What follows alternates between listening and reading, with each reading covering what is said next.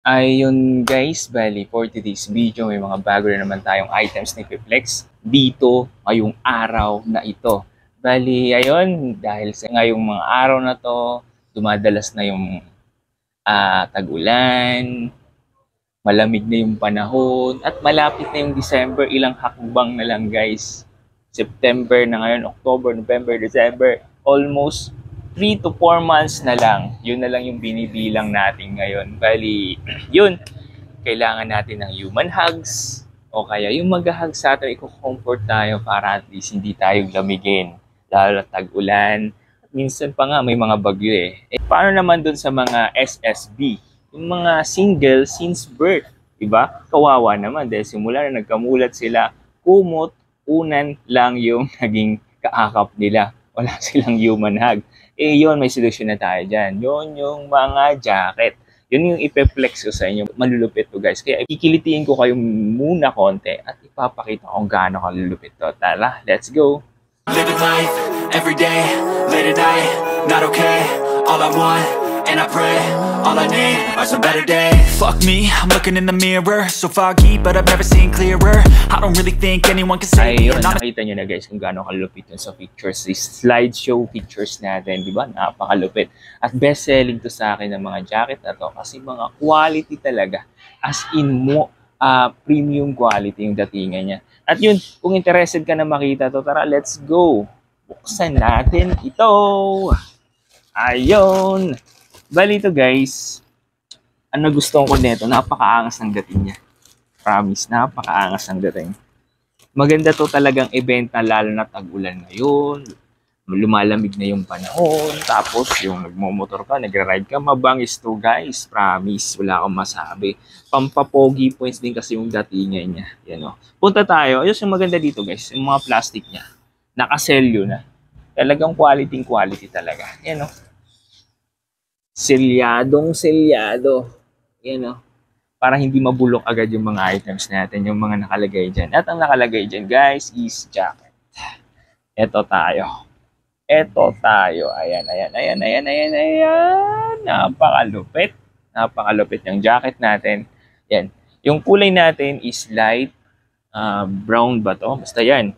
Ganyan siya. Ngayon, i-detalye natin yung uh, quality niya. Unang-una, yung dito niya sa leeg niya, yan siya, stretchable siya.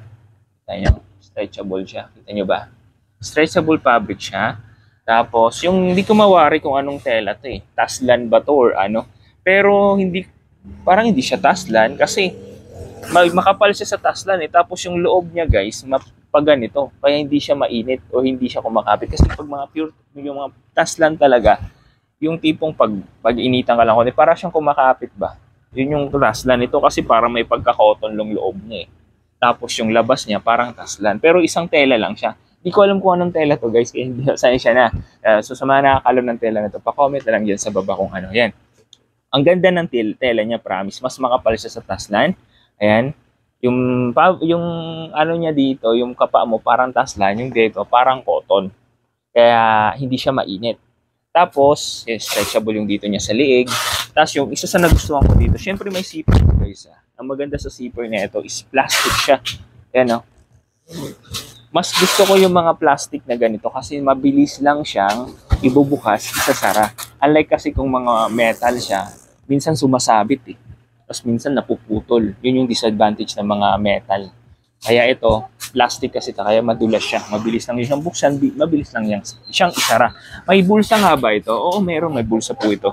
Kabilaan dito sa ano niya. Ayan siya guys, oh. Pakita ko sa inyo. Ah. May bulsa po yan, magkabilaan. Ayan. Tapos yung laman ng bulsa niya, loob niya, parang ganito. Ayan, ganyan siya. Ito siya, yung bulsa niya. Tamang-tama sa fabric na to.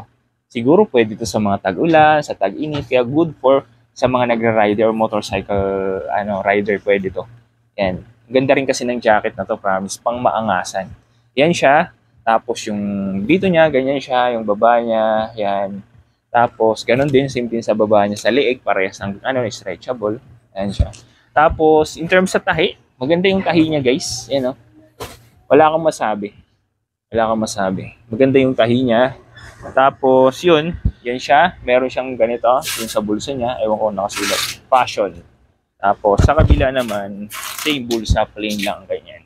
Wala siyang zipper. Pero yan, maganda siya. Mukhang matibay. Matibay naman, syempre, matibay. Tapos isa sa nabangisan ko dito. Isa na sa nabangisan ko dito, yung itong sa gilid niya guys, yung parang tape niya. Yung naka dito hanggang dito pababa. Yan, napakabangis. Whew. Yan o, ano nakasulat? Kailangan ko ba bang ano yun? Off-white, mga ganyan. Tapos, TM well, mga ganyan, yun, nakasulat. Tapos, yun, yun siya. Yun yung nabangisan ko sa kanya. Yung dito niya is ganito, stretchable na makapal. Same lang sa leeg, pati yung dito sa baba. Ayan, kita nyo ba? I-ano ko, i-flex ko konti. Ayan. Ayan siya guys. Ganyan yung design niya. Ayan siya, plain na plain. Tapos yung nagustuhan ko niya dito, yung ganito niya. Yung tape niya na nakatahi. Nakatahi yan guys, hindi yan nakadikit o ang ano ah. Yan, sulit na sulit yung likod niya guys. Wala lang, normal lang. Plain lang siya na ganyan. Ayun. Tapos may iba-ibang kulay ito. Papakita natin ah. Ah, nakita niyo na yung quality niya. Yung kulay naman, let's see kung sana magustuhan nyo. At naniniwala kung magugustuhan nyo to. Kasi ang ganda ng quality, ang ganda ng tela, ang ganda, ang, ang bangis. Ang bangis ng pormahan. Lalo na pag nakasoto, namaya isusuot ko talaga. Ito ipapakita ko sa inyo kung gaano kabangis to. Uh, doon sa mag, gusto magnegosyo ng mga premium premium jacket, mga quality jersey short at sando, at mga shorts na quality at marami pang iba. Marami pa akong tinitinda guys, hindi lang isa. Eto, meron din tayong army green. Ayan siya. Napakabangis din ng kulay at ang design. Yan. Tapos, meron din tayong parang ganitong kulay. Parang dark chocolate brown.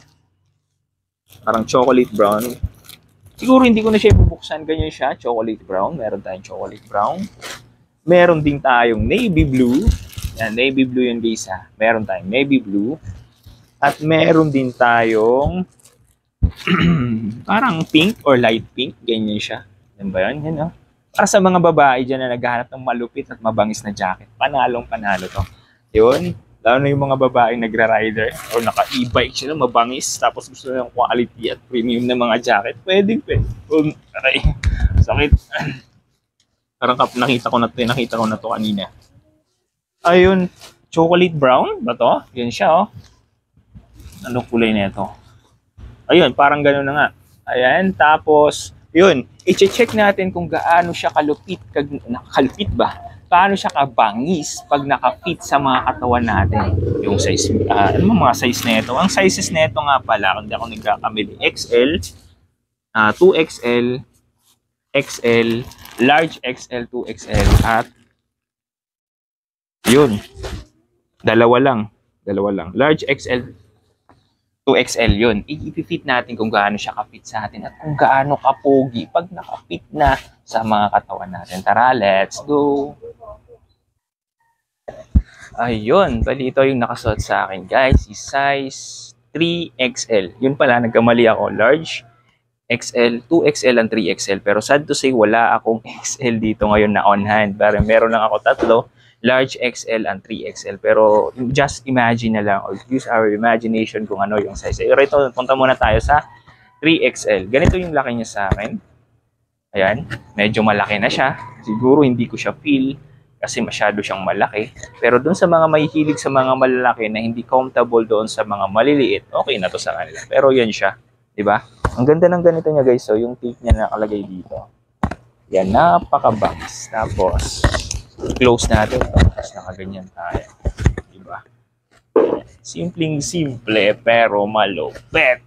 Nakapakalupet. Woo! Suwabeng suwabe. Yan. Yan siya, yung pag nakaside siya, nakahawak ka ng motor. Mm, mm, ang lupet. 3XL tong hawak ko. Ay yung suot ko. Next naman tayo, punta tayo sa um, XL since wala tayong 2XL. Yun, tara, let's go. Ayun, yung suot ko naman is, kumawari kung anong kulay to, chocolate brown ba to, yan, basta ganyan siya. Ito, yung size na to is size XL. Gustong gusto ko, ito yung gusto ko talaga, the best talaga to sa akin na size na ganito. Kasi alam mo yun, yung tipong tama lang sa katawan ko, although malaki siya, tamang laki, parang yun, parang match na match sa laki ng katawan ko. Yan o.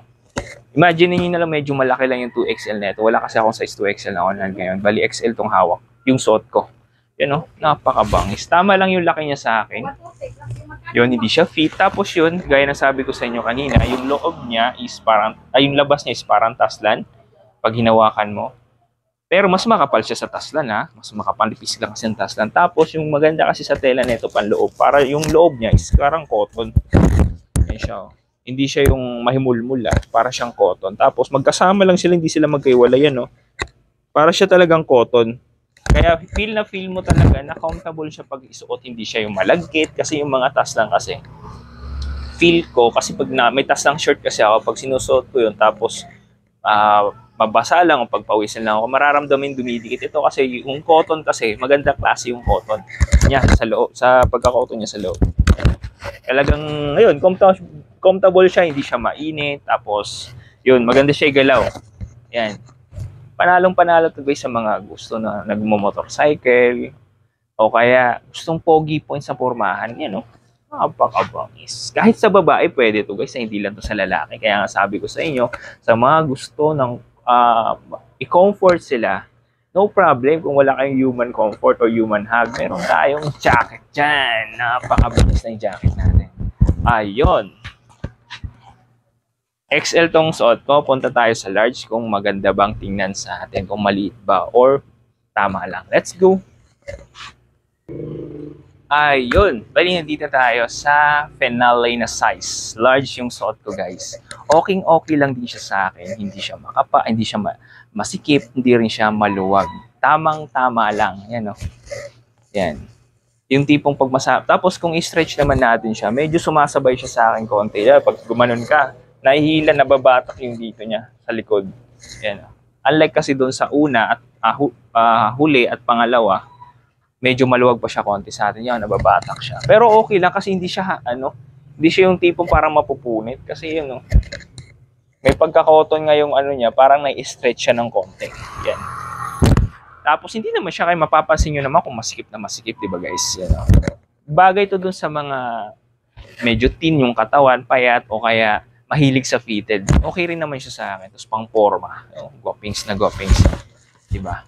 So, nakaganon ka, oh panalong panalo. Pero sa akin, for, uh, for uh, honest opinion lang guys, mas gusto ko yung XL. ah. Sa katawan ko, yung height ko is 5'8".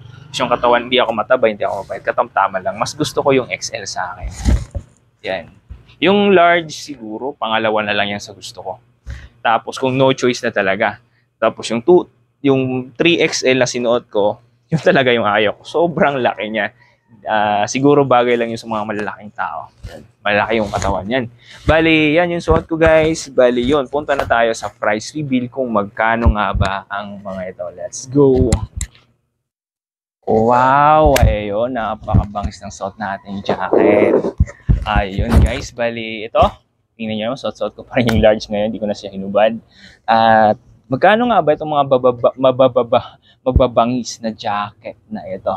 Itong mga jacket na to is only 180 pesos lang. 180 pesos lang guys. Ang ganda na ng quality niya. Pwede mo siyang ibenta ng 350, 300 pesos. O kaya paglaruin mo na lang ng 280, may 100 pesos ka na dun. O kaya pwede mong pinakamababa na mabilis maubos itong mga items na to para hindi agad hindi hindi tumagal diyan sa tindahan nyo 250 meron ka ng 70 pesos. Yun na suggest ko lang sa inyo kung gusto niyo lang. Pero palag-palag to guys sa 350 ang ganda ng fabric niya. Cotton, may pagka-cotton yung loob niya hindi siya mainit. Tapos tas lang yung labas niya makapal siya. Mat- stretchable siya konti ha. Stretchable siya konti. Tapos, may ganito siya, may tape siyang ganyan. Ayan. Ang mamahal nito guys sa iba. Wholesale nito sa iba, nandyan sa mga 230, 250 wholesale yon.